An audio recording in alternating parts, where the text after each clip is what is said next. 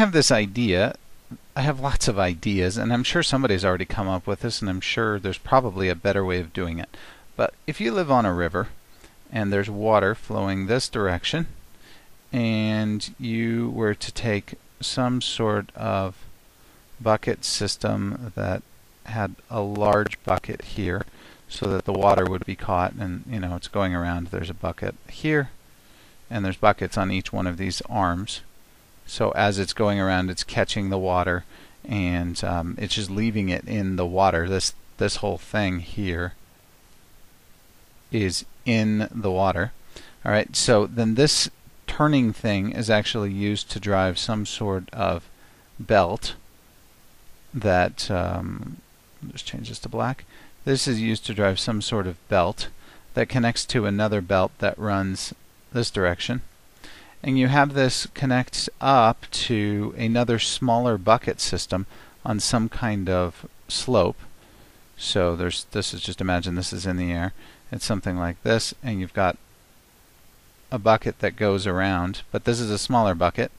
This is also sitting on the water, so let's just say that the river comes around this way. Oops say that the river is coming around this way. This thing's sitting on the on the water, uh, just like this is. So this is this one here is upstream from this one. And this belt then here is used to drive another belt here. This thing is lifting buckets of water. This thing here is lifting buckets of water out and it's basically then dumping that water into whatever system you would want to use to generate electricity.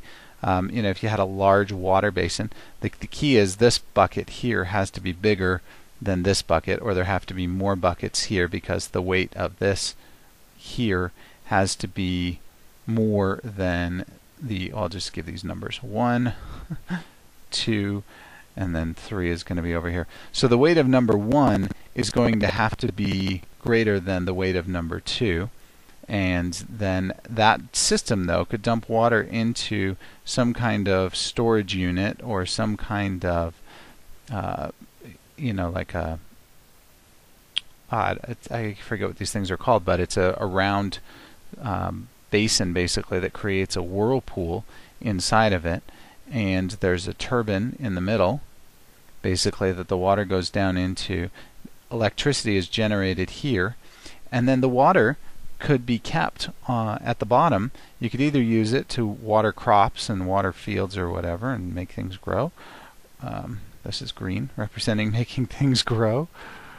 Or you could just return the water back downstream just right back to the stream and you'd actually create a device that was just using the force of the water to both create electricity here at step number three and return the water back either to be used for watering plants, let's call that number four, or return it right back to the stream, let's call that number five, uh, for a very simple system or a machine that would both generate electricity and water crops. So it seems like we could be doing this kind of thing all over the world, and maybe we are, and maybe I just don't know about it. I mean, I don't think this is a revolutionary idea. It just seems like this would be a simple thing that pretty much anybody could set up uh, in a relatively simple way. Anybody who's got a river running anywhere.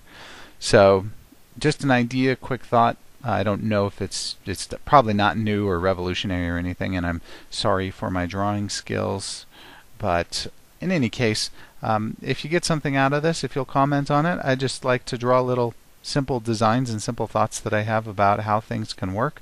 And if this benefits you in any way, please do post a comment. Thank you very much.